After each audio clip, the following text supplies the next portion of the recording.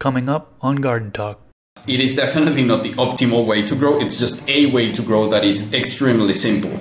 So if you are in a place where you have no energy access, where you can't have a pump, you can still grow things hydroponically using the Kratky method. It can be as complicated or as simple as you want. The simplest versions of these are extremely simple. I can guarantee most people have the stuff they need from a growing perspective in their house. If you use something like a normal Miracle-Gro that is a high urea fertilizer in hydroponics, the plants will die. When the plant gets the solution, it will uptake some things and release some things, and those things that the plant uptakes and release heavily affect the pH even though it seems very intimidating, it can be done and you will be saving yourself like a lot of money.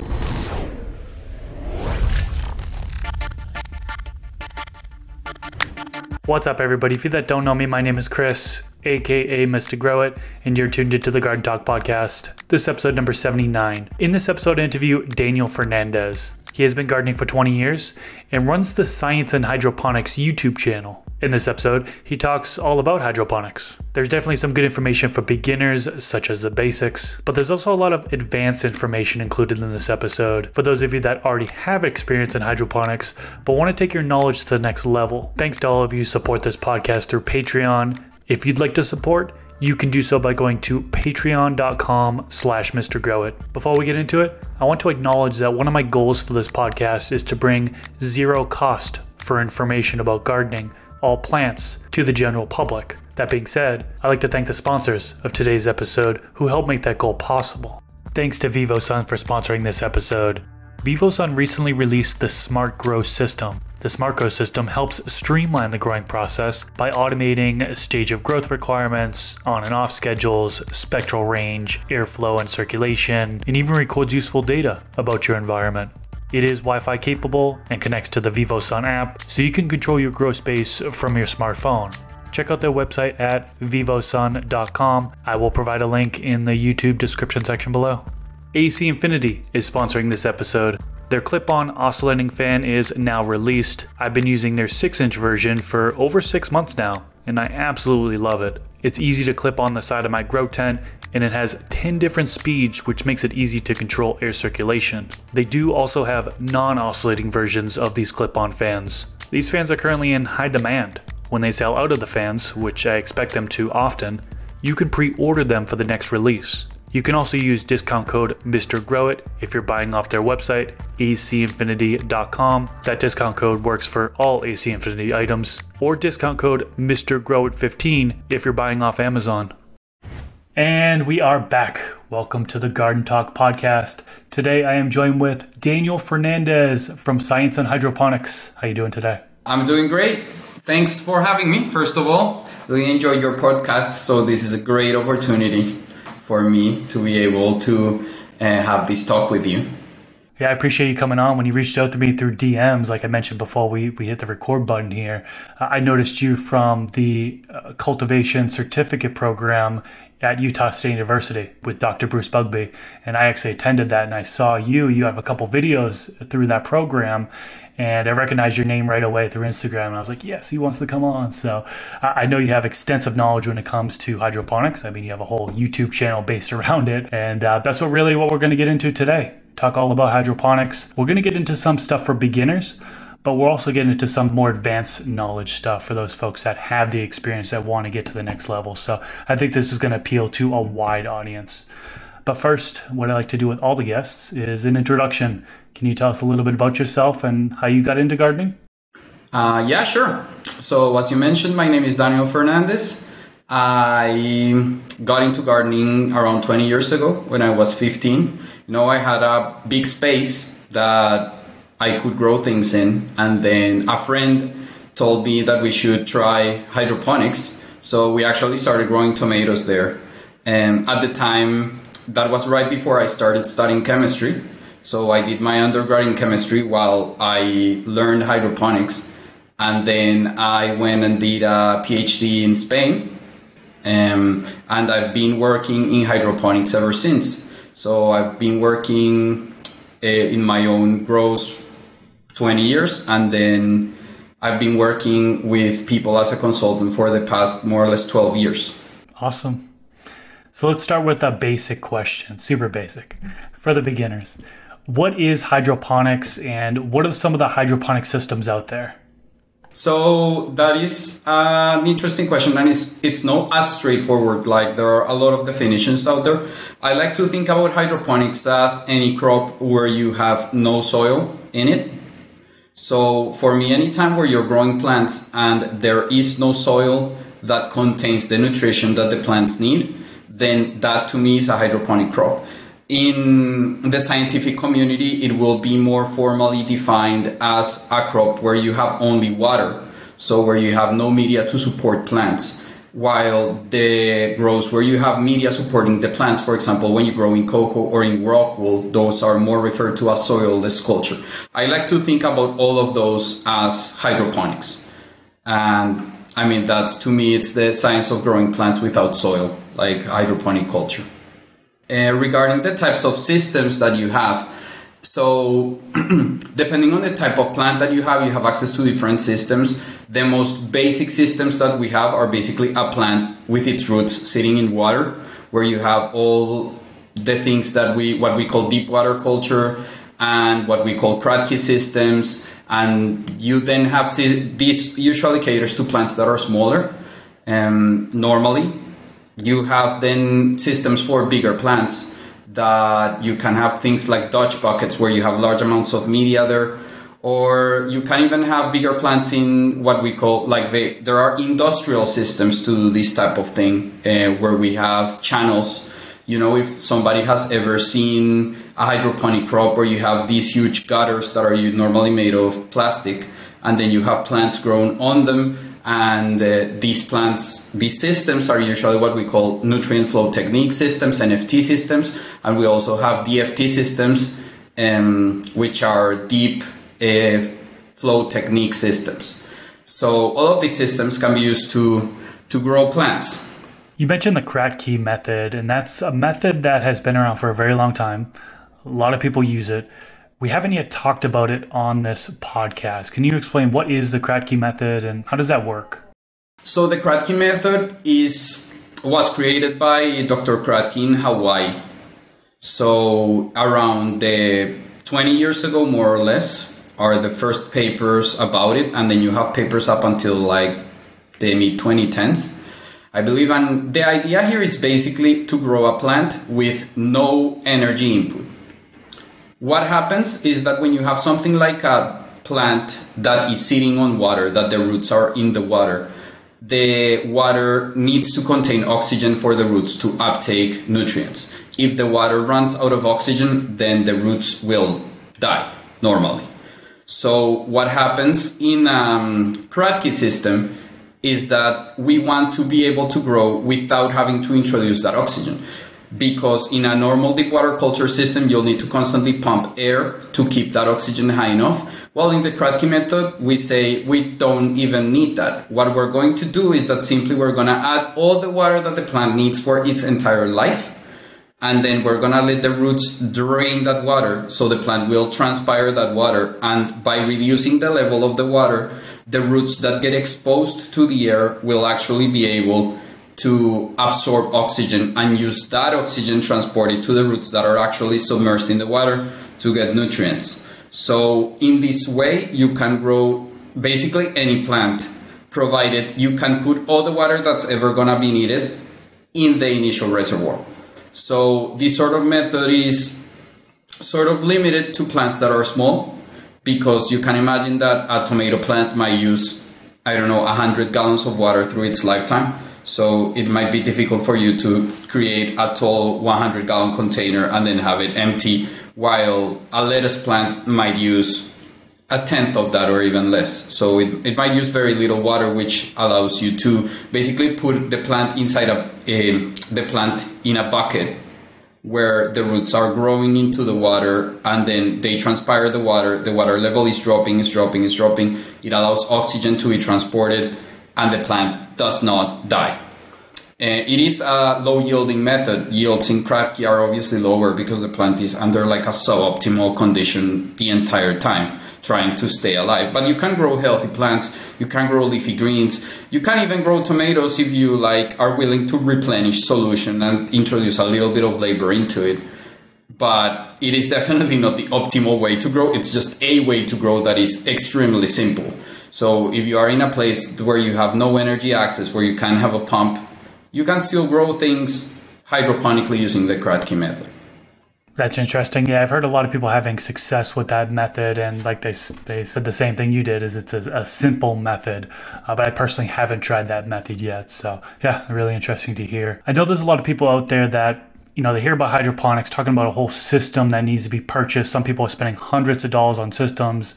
But really, you don't have to spend that much. You can do a DIY. You can actually build it yourself. Some people have the materials just lying around their house or in their garage, for example. Can you talk to us about how to create a basic DIY hydroponic system? Okay, so it depends fundamentally on the level of complexity. All you need in reality is a container that you can put a plant in with water in it.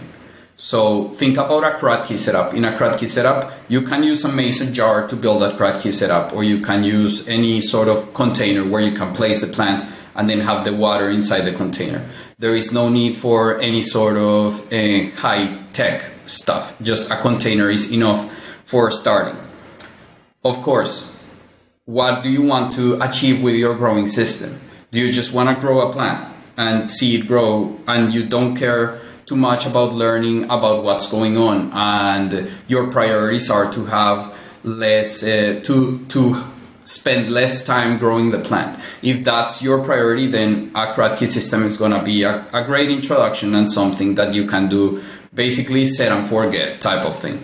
Uh, however, if you're interested, if you're interested in growing uh, and learning more about hydroponics, then a deep water culture system is close to the exact same thing, just with an air pump in, just with an air stone and an air pump. And the issue is that because a deep water culture system is way more efficient, the plant will gather way more nutrition from it, and therefore the chemistry will be affected significantly more. So you will need to do things like pH monitoring, EC monitoring, adjust the level of the solution, all these sorts of things that a Kratky setup doesn't have to deal with because it's less efficient, a less efficient growing method anybody can do a deep water culture system with like minimal investment for like a couple of plants or something like that. You can also go more into it, and then there are a bunch of alternatives that are midway between buying something fully made and uh, building it yourself from like complete scratch. For example, to build an NFT system, maybe you don't want to like cut the plastic gutters yourself you can just buy the the gutters already pre-made and then do the rest yourself. It can be as complicated or as simple as you want. The simplest versions of these are extremely simple.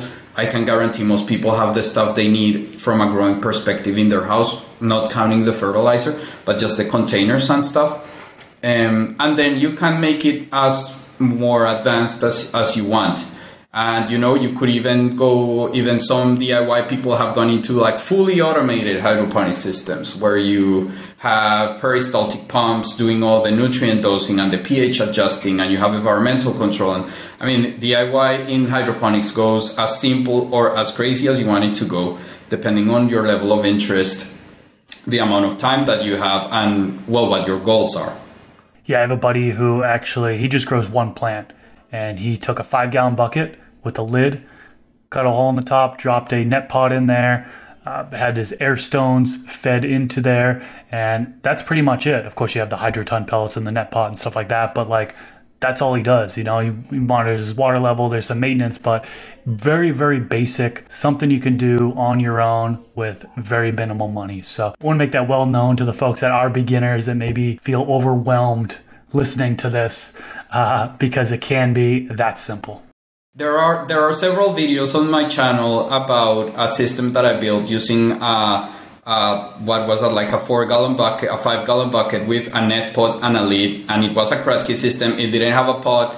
It didn't have. I I did monitor the pH and the EC twenty four seven because part of the objective was to log it, but I could have not done that.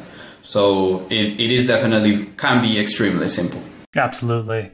Let's get into the fertilizer side of things here. So, what fertilizers can be used, and then what fertilizers can't be used in hydroponics? So that's a very interesting question and a question that comes up very frequently. There, the fertilizers that most people are used to are the fertilizers that are used for soil. Soil has a big advantage to it, and it's that it has a lot of microbes that can process things into other things. Uh, most importantly, you have urea. That is a very, very common commodity fertilizer because it's practically the cheapest form of nitrogen you can get, of reduced nitrogen. And then you can use that in soil because there are bacteria there that can convert that urea into nitrate, which is a form of nitrogen that plants do best with. Now, in hydroponics, there are usually no such bacterial bacterial populations. So, if you use something like a normal Miracle-Gro that is a high urea fertilizer in hydroponics, the plants will die because they will not get any nitrate from it. The pH will acidify extremely fast whenever that urea is decomposed to ammonium. So basically, if you're thinking about soil fertilizers, especially the nitrogen containing soil fertilizers, all those cannot be used in hydroponics. There are also a lot of things that are insoluble that are used in soil. We have a lot of fertilizers like rock phosphates, like uh, maybe we have composts, we have things that are good for soil because the microbes can break it down, but in a hydroponic setup, they would just sit there and would, they wouldn't dissolve at all. So we definitely don't want to be using anything that is insoluble or that is the wrong chemical form. There are a bunch of things that are shared between both worlds. For example, calcium nitrate, which is a super common fertilizer used to green out uh, yards, like front yards uh, green up incredibly easily when you apply calcium nitrate to it. So that's a fertilizer that is sort of used in those situations as well. And then it is also very commonly used in fertilizers because in the end, everything you use in hydroponics, you could use in soil, but not the other way around. So anything that is hydroponic, that is a hydroponic fertilizer is going to be uh, usable in a soil environment, but the other way around is not the case. So if you want to buy a fertilizer for hydroponics, then you need to ensure that it is formulated for hydroponic growing if you are not familiar with the chemistry of how all this happens. Got it. And I know you're actually a proponent of making your own nutrients. Can you talk to us about how to make your own nutrients for hydroponic systems? Yeah, so when I talk about making your own nutrients, I refer to using so most of the fertilizers that you can buy that are for hydroponics are blends of raw fertilizer inputs. So what I mean when I say make your own fertilizer is instead of buying these boutique blends for hydroponics, you can actually make your own from these raw fertilizer inputs. So I created a program that's called HydroBuddy that I created mm, 13 years ago in 2009 that basically helps you formulate your own fertilizers using these raw inputs. So chemistry can be extremely um, extremely intimidating to a lot of people. Uh, so I understand that this is not very easy to do, uh, but there are like some baby steps that can be involved here. For example, instead of having to make a complete fertilizer with all the elements that are required for a plant to survive from scratch, from all the different raw fertilizer inputs, you can actually start by going into, for example, a fertilizer like uh, 51126 for example like a master blend or a peters 51126 which has already most of the things blended in ratios that are adequate. And then you just make the calcium nitrate and the um, let's say monopotassium phosphate or some of these other fertilizers. So sort of a midpoint between these two things. And um, then from there you know you can move into making your own concentrated solutions so that you can then uh, prepare your own fertilizers uh, at your at your house or at your grow or anything like this. Um, or you can also move instead of making your nutrient solution you can also move perhaps it's less intimidating to then start making your own amendments.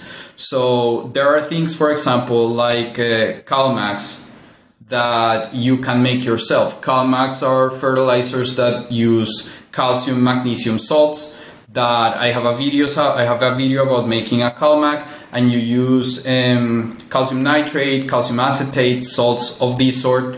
You blend them and you create you create a solution with them, and then that's your CalMag. And I know I'm talking about all, it's very hard to talk about uh, such a complicated topic in such a short amount of time. But if you go to my website or if you look at my YouTube channel, I have a lot of videos about how to actually make your own fertilizers where I talk about the chemistry of how to do this properly, what inputs to use, which sorts of formulations to make.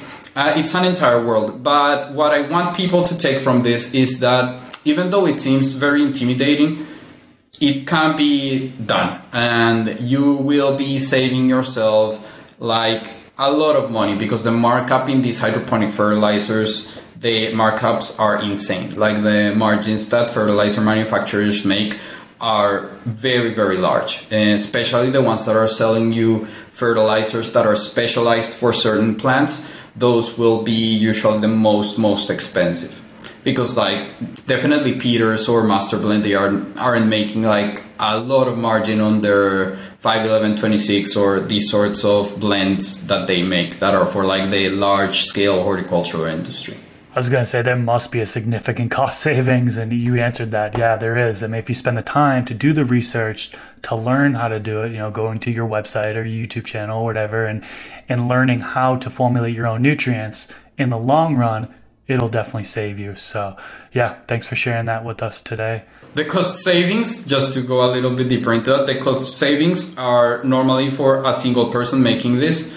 Um, they can be, it can be even a hundred times cheaper if you're willing to buy a large enough quantity of things. Wow, that's incredible. So I have to ask about organic growing in hydroponics. Some people say it's not possible. There's some people that say it is possible. Talk to us about organic growing and hydroponics. Is it actually possible or not? It depends on how you define it.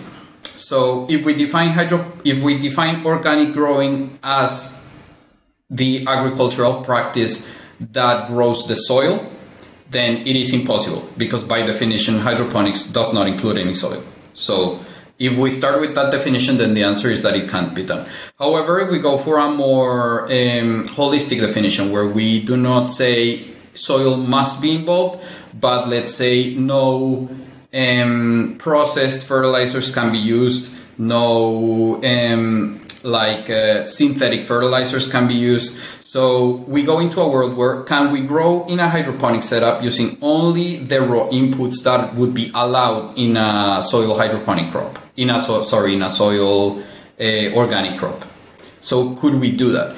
Uh, the answer is that we can. We can uh, do it. Like I've worked, I've been working with several uh, large scale facilities growing leafy greens organically and we have achieved it and you can look at that in my instagram and you can see pictures where we, we're growing plants in fully organic solutions in a hydroponic environment where we are even beating the yields of the conventional hydroponic setups that are right next to them so it can be done uh, and it can be done very successfully now it is tricky because a lot of the, as I mentioned, there are things like the nitrogen cycle that does not exist in a hydroponic setup. So we need to uh, separate things a little bit. And what we do need to do is a lot of pre-processing of the solutions, right? So while you would mix, for example, I don't know, your, your, uh, for example, corn steep liquor is a very common uh, source of phosphorus in organic growing because it's very high phosphorus. It contains a lot of lactic acid, for example. Uh, if you used it in hydroponics as is, it wouldn't work well because that amount of lactic acid would be toxic to the plants. So we need to pre-ferment that in a tank with adequate bacteria to get all those organic acids to be used and turned into CO2 and we eliminate it and that way we can create uh, fertilizers that can be used in, in a hydroponic setup. Now, at a large scale, we do this at the large scale facilities, right? But there are already companies that are producing these like fertilize pre-fermented inputs. that you can use. Um, there is a, a, company that is I'm not affiliated with, which is called AgriJusta, which has like potassium nitrate equivalent solutions, calcium nitrate equivalent solutions that are all OMRI registered and that are derived fully from organic inputs, and they are just processed so that all these available forms of nutrition are already there, so that they don't need to be generated right there. So yeah, if we define organics as growing plants using only OMRI approved inputs, then we can we can do it, and we can do it with like we need actually active bacterial populations to be able to achieve these with without a problem. Now, what about microbial inoculants? See, I mean, you touched upon microbes earlier in this episode, and uh, you mentioned that there's really no exchange happening as far as the conversion of elements in hydroponics. Are microbial inoculants useless when growing hydroponically, or are they useful in some ways? They are. So, yeah, this is super controversial because the evidence is all over the place. If you look at the scientific evidence of microbial inoculation in hydroponics, you'll find anything. So, I think that the answer is if you're perfect, the benefits from them are going to be very limited because if your growing conditions are absolutely perfect, the microbes are very little to contribute because everything is already perfect. If you are not perfect, then they might give you some breathing room if you screw up. So they can help you if your growing conditions are not perfect, if there's stress going on, there might be mechanisms by which they can protect you. Not all hydroponic systems are suitable for microbes. If you have a deep water culture system and you add microbes to it, it will be super dirty. Uh, and if the solution does not cater to those microbes, then those microbes will likely become uh, or they will encourage pathogenic microbes then getting in there. So you need to, if you are going to have microbes, then the solution needs to cater to them as well. And the media also needs to cater to them. So it is a decision that needs to be made. Like, is it going to have microbes or is it not going to have microbes? Uh, if it is going to have microbes, then design everything around that. If it's not going to, then uh, design it so that it's not going to. It is also easier to have microbes in hydroponic systems where the solutions are not recirculated.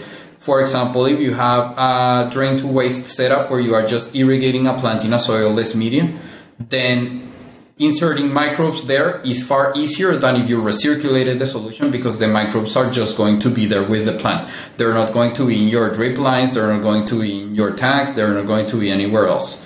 So usually if you are going to introduce microbes in a system like that, usually you're not going to have a problem when you do that. So I consider them useful. Like uh, another point is that microbes can also help you with pathogens. There are microbes that are not for the plant, but for fighting pathogens. So while they might not help you with the uptake of nutrients for the plant, just the fact that they're filling an ecological niche in the root zone will mean that something else that's pathogenic will not be able to fill it. So, furthermore, there are some microbes that will actively fight uh, things that are there. For example, if you have, um, let's say, root aphids, and you have you inoculate your media with um, Beauveria bassiana or with other microbes that are pathogenic to root aphids, then they will fight the root aphids when they get there. So microbes are insurance in my view. They are something that we do not need to grow perfect. Uh, if we can grow perfectly, if you are not perfect, then I think that it's not going to hurt you if you add them and you have designed your system so that adding them is beneficial. I agree when you said it was a controversial topic because I get a yeah. lot of people that are arguing both ways. And so uh, thanks for bringing some clarity on that avenue. I want to switch it up. I want to get into silica next. Talk to us about silicon and, and silicates in hydroponics. Okay. So, silicon is not an element that's necessary for plant life, uh, at least for many uh, plants. Like there are some plants like grasses that require silicon, but for plants like tomatoes, cucumbers, uh, lettuce, you don't really need silicon for them to live. We have found through research that it is beneficial. Uh, there's a lot of research in the scientific community showing that if you can get silicon into a plant, then it will, at, at the very, very least, protect it from uh, fungal pathogens. Like that, we have so much evidence for that we already take that as fact. Um, but how do you get it into the plants? The problem is that the chemistry of silicon is tricky. Uh, most of the silicates that we have, most of the minerals that contain silicon are not soluble. They are just not going to dissolve in water. So how do we get silicon in the water? So we have these products that are called, uh, we have these types of minerals called silicates. And some of these silicates, like calcium silicate, potassium silicate, and sodium silicate, are soluble in water at really high pH. So if you have a pH of above 11, then all of these will be soluble. Then, as soon as you, you can create a concentrated solution of these silicates, they're dissolved in water. Then you can add a little bit of that to a solution, to a hydroponic solution, and at the pH that you have in hydroponics between 5.5 and 6.5, let's say, all that silicate will be transformed into silicic acid, which is a form that is available to plants for their uptake. There is there are some hypotheses that other slightly larger forms of silicon are also available to plants. Very difficult to test it. The issue is that these silicic acids, these monosilicic acids, are extremely unstable under pH uh, between in their pHs between four and eight. They are extremely unstable, so they will quickly polymerize and be unavailable for the plant. So that's the main issue with this chemistry. Now there are some products that will give will not give you silicates the basic solutions, but they will give you monosilicic acids, stabilized monosilicic acids, which can exist in a stable form at a pH below 2.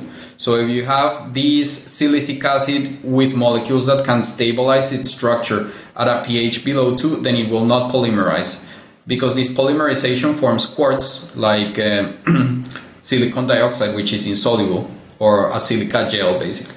So you can have those these two extremes. Now, when those stabilized silicic acids get put into a hydroponic solution at a pH of 5.8 or 5.5265, the question is, are they polymerizing as well or are they not? So far, very few people have studied this. However, we know that there are some differences in availability of some of these stabilized silicic acids. There are several, I mean, probably a handful of studies right now that are showing that it is different um, than monosilicic acid derived just from silicates that, whose pH has been dropped to the pH in hydroponics. So, which is better uh, for root uptake? We don't know. There is also the question of foliar feeding of silicon. If you feed silicon through the leaves and not through the roots, then you need to consider that silicon is completely immobile. Once it is mobilized inside a plant and placed somewhere, it will not move. So this means you need to routinely apply it because tissue that grows after you do the foliar will never get the silicon that you applied before. Is it better to apply one form or the other? Right now, it is uh, unknown. It is unknown. Evidence is pointing to the fact that it is not exactly the same, but uh, silicic acids ability, like a stabilized silicic acid's properties, will depend heavily on what it was stabilized for and how that was uh, achieved. There are may there are maybe like 30 ways to achieve that. So it is uh, when things are marketed as monosilicic acids, just bear in mind that what sort of stabilized monosilicic acid.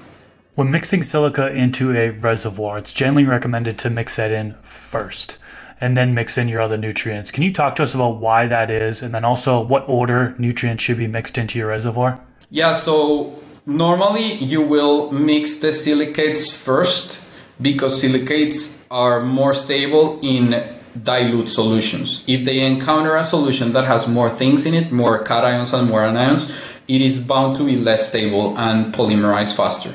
So you add it first because the least amount of things that your solution is ever going to have will be the when it's like our water or tap water when it's when it has when you have added nothing else. So you add the silicon to that, and when you add the silicon, the pH will be higher and it will be a little bit more stable. Normally, you will inject silicon first, then you will inject whatever is more acidic, uh, which is normally a solution containing acidic potassium phosphates of some sort uh, which is normally micros and potassium so, uh, monopotassium phosphate or things like this. So silicate, then this acidic solution, then the nitrates usually go, or the calcium containing solutions. And then finally, you will set the pH with an acid uh, to the final pH that you want. That is normally a way that works well. It is not the only way. Like you could also, for example, do add the silicon, then uh, set the pH, then add the other things, then set the pH again although that is not very effective in terms of like the amount of control that you require. So this is the standard. What I've mentioned is usually the standard. It is also very common to put a mixing chamber right after the silicon, especially if you're using an injector system, because the silicates, if they are not fully mixed into the solution, then they can precipitate when the next injector injects things into the line. If you are mixing into a large reservoir by hand, then you need to ensure that that's properly mixed before adding the, the other uh, nutrients to your solution. Gotcha. Okay. Another controversial one I wanted to touch base on is uh, gypsum. So here people adding in gypsum into their hydroponic systems, and uh, there's others that say you shouldn't do that because it's not soluble. Give us a lowdown on gypsum, calcium sulfate in hydroponics. I have an entire video on just this like precise topic of gypsum in hydroponics. Uh, gypsum is not as soluble as many things. It's not calcium nitrate, but it is very soluble. Like it is, I mean, it is not as insoluble as many other things. It is not a rock phosphate. It is way more soluble than that. So it is definitely not soluble enough for you to prepare a concentrated solution of gypsum to use in your hydroponic setup. That will not work, but you can get 400 ppms of calcium from gypsum, like from gypsum. I mean, it is soluble enough that you could dissolve enough to supply more than double the nutrient requirement of the highest calcium requiring plant in a hydroponic solution. However, you would need to add it directly to the, to the final nutrient solution. You cannot, as I mentioned, prepare a concentrated solution and then add it. You will need to add it to the final solution. And then you have one thing and it's that the kinetics of dissolution of the gypsum are slow. So it will take time for it to dissolve. It will take time in the order of maybe hours for it to properly dissolve in a solution. Another thing that gypsum has that is quite tricky is that its solubility goes down as temperature increases. So you need to mix it at pretty low temperature. So if you have a solution that's above 70 Fahrenheit, then gypsum is going to be less soluble than all the solubility that it could have. So yeah, it can be used so under precise conditions. Okay. Getting a little bit deeper into water temperature. What is the optimal water temperature when growing hydroponically? So, in most cases, I would say that around um, 70 Fahrenheit is the optimal temperature for roots in general. You can grow at a little bit higher temperature, and that can be optimal for some plants under some conditions. But then we start getting into the point, you know, oxygen solubility goes down as the temperature goes up. So, if it's a system that has issues with its oxygenation, then that's not going to help it at all. For example, if you have a media that retains too much water between irrigations, that's not going to help at all. So normally if you're at 70, that's perfect. If you're at 75, plants can most plants can tolerate that. If you're at 80, then you're going to have low oxygen and fungal and bacterial issues because especially anaerobic bacteria uh, will love solutions that are low in oxygen and high in temperature. To the low side, then when you go to 65, you might still be able to do fine, but the problem is that the kinetics of nutrient transport becomes lower as the temperature drops, so the uptake of nutrients becomes more sluggish. So you start having issues with the uptake of some things, and then when you drop below 65, phosphorus uptake drops to basically zero because it does require substantial i mean it does require the temperature for the uptake because of these kinetics of uptake. So if you drop the temperature below 65 you start noticing that your plants will basically turn purple um, because of because of that which some people use to their advantage Yeah, the water temperature is one of my biggest concerns. Uh, I live in a desert region, and I think right now it's at uh, okay in this room right here it's at 81 degrees Fahrenheit. I turned off the AC for recording, blah blah blah. Usually it's about 78, but water temperature, what I heard is is over 75 is really you're at risk of those pathogens happening, right? And so uh, I've just avoided DWC, you know, hydroponics in general because of that reason why. But I know there are hacks around it. Some people add in like frozen water bottles into the reservoir to lower the temperature. Some people buy a chiller to add to reduce the water temperature. So there are solutions for controlling it. But I mean, if you're adding in a chiller, you're you have to consume more energy right? And then do a cost analysis, see if it's worth it or not. So that's just one of my biggest things that I've avoided hydroponic growing for is, is water temperature alone. So just just to tie to the previous topic, one of the things that mainly limits Kratky usage is water temperature because if the water gets hot, then it's not going to work at all. So that's a main limiting factor.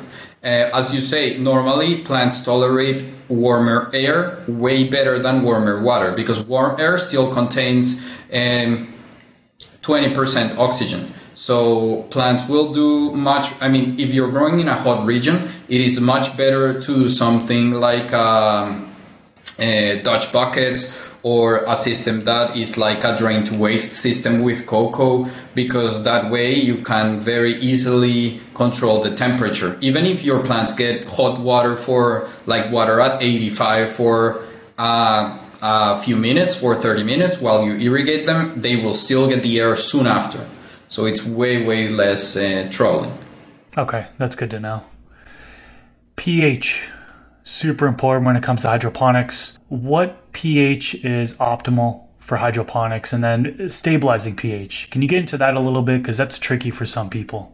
So, the optimal pH in hydroponics for plants, for most higher plants, is going to be, let's say, between 5.8 and 6.2, like if you want to be narrow. But plants can do well between 5.5 and 6.5. That's really the region that they do fine in.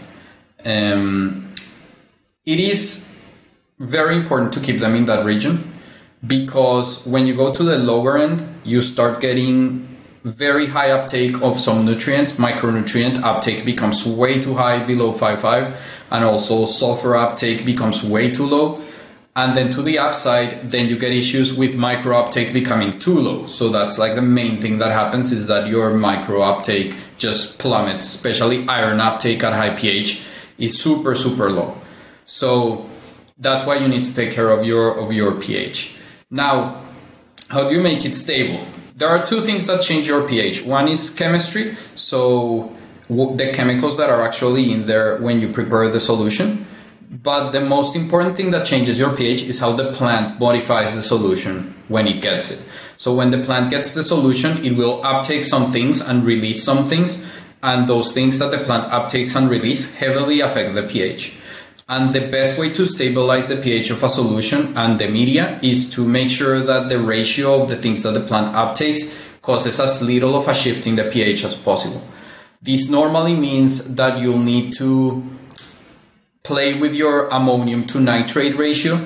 So plants will generally uptake a lot of nitrate and push the pH up under normal circumstances. Most plants will do that they when they're especially in vegging phases they will push the ph up due to nitrate uptake so if you add some ammonium that ammonium is uptaken really fast and it counterbalances that so that the plant does not modify the ph much trying to stabilize the ph of the solution itself is very problematic if you are not also catering to the chemistry that the plant wants to uptake because if you just try to add buffers or add stuff to like force the solution to a pH, the the and you feed things that the plant will uptake very drastically and dramatically affect the pH, then it's gonna be a losing game. Like the best solution that you have to control the pH is to make sure that the nutrients that you're feeding are actually uh, buffering the nutrient uptake of the plant. Now you can uh, buffer this nutrient uptake through this. But there are other plants, for example, you have tomatoes that uptake massive amounts of potassium and will heavily acidify the solution at some point. Then, in those cases, uh, you might want to use uh, add more nitrate, for example, to counterbalance that that uh, extreme uptake of potassium. So there, there are a bunch of uh, strategies you can use in terms of the nutrient uptake, but you need to consider the plant. Like just chemically adjusting the solution does not work that well. However, when you adjust the solution, you can also consider the uptake when you adjust it. For example, a very common strategy is that when the pH increases, you add nitric acid with ammonium in it so that you both replenish the nitrogen but you are also increasing the ammonium to nitrate ratio so that so that every time you adjust the probability of adjusting is lowered because you are shifting things a little bit every time you adjust. So that sort of like smart adjustment of the pH uh, works better than um, doing just adjustments with regular acids or bases. And you'll notice that companies will often sell pH ups and pH downs that consider that take these into consideration. Like pH ups are not just potassium hydroxide and pH downs are not just monopotassium phosphate. They often include uh, or phosphoric acid. They include other things to help you buffer nutrient uptake. Okay, so basically you're saying most of the causes are due to the fertilizer not being balanced for that plant. So if somebody, generally speaking, if somebody is growing hydroponically and they continue to struggle with that stable pH, they may want to consider going to a different fertilizer? Yeah, they might consider changing the ratio of certain things in your fertilizer. Okay and so that they need to fight that less. However, there's also the case that some plants will be will grow way better in a way that is very destabilizing to the pH. So that is also a counter to this. Like if you are going to be growing a plant at its maximum potential, maybe your pH will never be stable you, you sometimes need to compromise that. You can also, for example, let's say if you're using a drain to waste setup and you're irrigating with um, a pH of 6 and then your runoff is always like six, five, seven. you can then water at lower pH like at 5, 5 to like compensate that change so that your runoff does not shift that much and it's in the zone that you want it to be. So you can also play with the, because what, what matters is the pH of the root zone. So in systems where you are watering and then that solution is not recirculated, uh, you need to consider that you are blind to the pH of the root zone and the pH of the input is not as important as the pH of the root zone that you're growing. Got it. I did actually watch your video on runoff and, and, pH. Really, really good video. I totally recommend it for anybody who hasn't seen it yet. Definitely check it out. A lot of good information. You clarify a lot of things in that video. Next up, I want to get into EC or ppm. What's the optimal range for hydroponics? So this is an interesting question because different ions conduct electricity differently, and therefore the EC of two solutions with different composition, uh, they won't be they they won't be chemically equivalent at the same EC.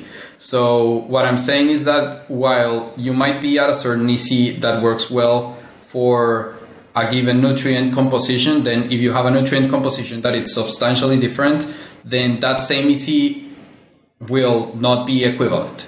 So this is why talking in terms of EC is a little bit misleading because then to, a person might say, hey, I grow at an EC of 1.5 and it works great. And another person might say, well, I grow at 2 and then the solutions are very different.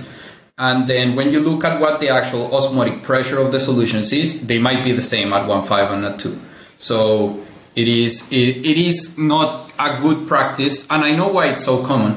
But I think it would be um, it is more uh, useful if people only do EC comparisons when they're talking about like the same nutrients, right? Otherwise, I prefer to think instead of EC, what are the optimal nutrient ratios in hydroponics? Like, what are the optimal nutrients to grow in? And that we can have a deeper conversation about and like that goes into like the formulations that are better for each plant according to the tissue that each plant is growing you know? Because like it's not the same to grow a head of lettuce than it is to grow a tomato because in one case we're growing fruits and in the other case we're growing leaves. So what tissue are you growing? And then your nutrients need to cater to whatever tissue you want to be grown yeah, I was going to say that the type of plant would certainly have an impact on it as well. All right, one more controversial topic for you, and uh, I know people are going to love this one flushing. Is there any science behind flushing, uh, particularly medicinal plants, prior to harvest when growing in hydroponics? or actually growing in general? so, um, the question is: Do you is there a need to flush? Like, is there should we always flush? Does flushing accomplish anything? So flushing really does not take anything out of the plant. The conception that the like the concept and this idea that the plant will lose nutrients because you flush is completely false. Like the plant will not lose any nutrients it already has taken up due to flushing. So that won't happen. What you will do is that you will completely um, you will reduce the concentration of nutrients in the root zone. So do you need to do that? Because if you're growing at very high EC values in the root zone, maybe lowering the EC will give the plant some breathing room and it will be able to grow better for let's say that ending period. But are you growing at like the same stable EC nutrient concentration the entire time and then if you flush then you're gonna deprive it of those nutrients in the end do you want to deprive it of those nutrients? Uh, I don't see why you would. Like you are going to be wasting some of the most efficient, like the ending part of the growing cycle is the part where you get the most yield because it's where you have the most structure to build into. So um, it depends can you benefit from it? If you can benefit from it, then you should use it. If you cannot benefit from it because your conditions do not allow you to benefit from it, then you shouldn't. Because there is that, that's why there is a big disconnect sometimes when uh, you talk about people who uh, like uh, plant scientists who grow the plants perfectly and then they say well i flush and it's absolutely no benefit to me. I see a detriment. And it's like, yeah, well, because you're growing this way. Uh, but if you grew this way, where you have all these much higher EC in the media, then you would see a benefit. So whether you see a benefit or not depends on whether you need it or not. So uh, it is definitely not something that should be considered as a should always be done. It should be done when it's necessary. That makes sense. So, taking a step back and taking a look at the folks that are new to hydroponics, what advice do you have for those that are new? So, for people who are new to hydroponics, I would say you can start very at a very simple level. Hydroponics is a great way to grow plants. You have a lot of control. That is both a blessing and a curse because then you need to realize that you are very likely to fail uh, because you have all the power. So in soil, there are a lot of mechanisms that are working in your favor without you doing anything. In hydroponics, you have total control, which means you have total responsibility over the fate of the plant, and it's very likely that you will kill several plants. And that's not a bad thing. I think all of us who have ever grown plants have probably a lot of those plant carcasses in our closets. So it, it is not anything to be afraid of and you can try small systems. I would say start small. Um, depending on your region, I would say you can, if you are in a cool, cooler region where your temperatures are fine, you can try a Kratky method, or if it's a small indoor thing. If you want to grow outdoors, then you might want to try a soilless media type of thing, like a coco grow or something like that, where you have um, a little bit less concern over the temperature of the water and things like this but don't be afraid of it. I think that's the main thing. Don't be afraid of it. It can be done simply and can be done in a very complicated manner. Uh, there are nutrients that are very low cost that you can use. Just go ahead and try. I like asking that question towards the end of the episode because it gives the guest a chance to speak on something they didn't speak on the episode and also provides a ton of tips. Like everybody who asks that question to just provides so much good information, you know, specifically for beginners because a lot of the audience, a lot of them tuning in right now are beginners. They're just getting started. Maybe they're in a state that just legalized, for example, a, a certain plant that they can grow, and now they're starting to grow. So, um, having that advice for beginners, it's super valuable to a lot of people. So, thanks for sharing that. Another question I asked towards the end is uh, how can the listeners find you, and what do you have upcoming in the future? Also, I have my website, scienceinhydroponics.com, where I talk about the science of growing plants without soil and I try to go into the scientific literature and I try to address topics in a manner that is more evidence based than other sources. I also have my YouTube channel um, Science in Hydroponics as well. And I also have my Instagram with the same name, and you can find me in all of these places. Um, I do gener- I do consulting for small to large hydroponic growers. I am one of the only consultants that you can get on the hour. because most of the large scale hydroponic consultants would never consult with you without like a, a like consulting contract. Uh, I've kept my hourly consulting basically to allow people who have um, to allow the little guy a chance to like uh, benefit from my experience and also the experience of other consultants and growers I work with, so that um, the consulting is not monopolized by by the big guys. That's really cool that you offer consulting like that. Not a lot of people do, and there are a lot of people out there that need help. And so uh, it's really, really awesome that you're there as a source. I'll definitely have a link to your YouTube channel down in the description section below. If you're tuning in on one of the podcast platforms, just search for them, you'll find them. If you enjoyed this episode, click that thumbs up button. Also, subscribe to the channel if you haven't already. Every single weekend, I'm releasing a new Garden Talk podcast episode, and I would love for you to tune into future episodes. Daniel, thanks so much for coming on to this episode today. This has been awesome. So much great information. I definitely learned a ton. This is one of the episodes where I'm going to watch back several times probably to grasp all that information. And uh, and then, yeah, hope we keep in touch and maybe you can come back for a part two sometime in the future. Yeah, thanks thanks for having me. This was great. As I mentioned, I'm a big fan. Would definitely love doing uh, part two, going deeper into some of the topics that people find interesting. Awesome. All right. Well, until next time, peace out, everyone. Thanks for tuning in.